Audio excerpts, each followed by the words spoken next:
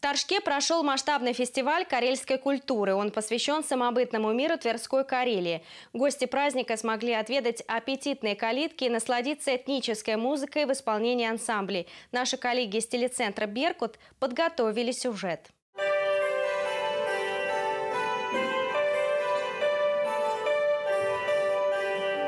В Торжке прошел праздник карельской культуры. Это первая встреча большого проекта Всероссийского историко-этнографического музея «Тверской характер».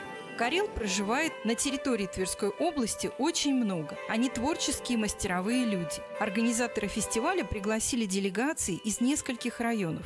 Присутствовали делегации от Лихославльского района, Спировского района, Максатихинского, Весьегонского, города Твери. Всего приехало участников более 120 человек. На протяжении последних 25 лет в разных районах Тверской области проводится большая работа по сохранению, популяризации и возрождению карельской культуры и карельского языка.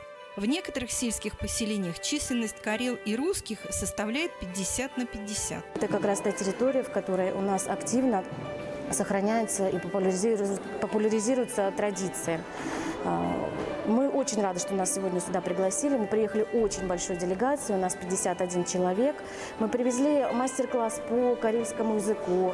Мы привезли а, четыре коллектива. Это и хореографический, и а, коллектив игры на кантеле. Руководитель Тверской региональной молодежной общественной организации по сохранению культурного наследия Тверских Карел пожелал новаторам любви, везения и всего самого хорошего.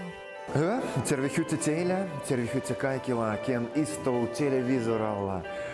Мимо куча Холега Евграфов. Me поздравичin teille праздником, да поздравичin teille vuodena Karjalan kiilde.